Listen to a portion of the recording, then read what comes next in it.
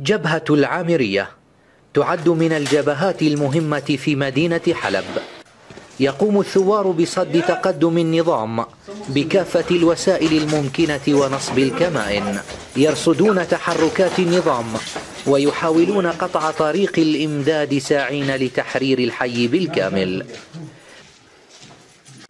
نحن الآن على جبهة العامرية في حلب آه، نرصد تحركات قوات النظام على طريق آه، الراموسي وخشية تقدم قوات النظام والحمد لله لقد تم التصدي لهم منذ يومين. حاول النظام التقدم مدعوما بميليشيات حزب الله إلى نقطة العامرية وتم التصدي لهم ولكن آه، نحن غير قادرين أن نقوم بهجوم أو الاقتحام باتجاه قوات النظام.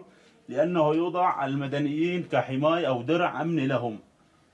ونحن لا نستطيع التقدم باتجاههم خشية أن تروح ضحايا من المدنيين. ومن ضعف إمكانياتهم يستخدمون الحطب ليجعلوا من إبريق الشاي لذة الراحة بعد القتال والنقاش حول الاشتباكات.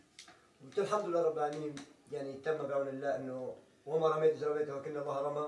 الحمد لله الله قدرنا عليه وطبينا الثوار بالمرصاد لتفشل محاولات النظام. التقدم نحو الأمام ولا صوت يعلو فوق صوت الاشتباكات.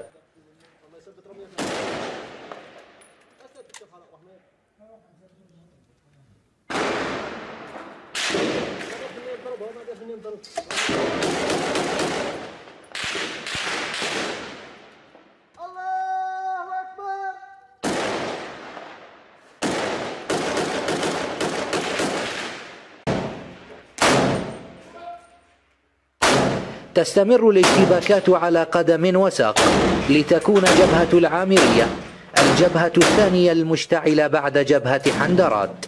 تخلو منطقة الثوار من المدنيين خوفا على حياتهم لأنها تعد نقطة اشتباك لكن النظام يجعل من المدنيين دروعا لمنع تقدم الثوار في الحي. نحن هون بجبهة العامرية. عم نقوم بصد محاولة النظام لاقتحام جبهة العامرية وعم نحاول نحن نتقدم عليه بس النظام عم يهيئ الناس دروع مدنية دروع بيحطها قدامه يعني كرمال ما نتسلل اللي عنده بنضربهم والحمد لله نحن صامدين وموجودين نحن بالعامرية إن شاء الله بإذن الله. وعم نمنع تقدم النظام بأي شكل كان يعني بالدبابات بالمدرعات بشو من كان يكون.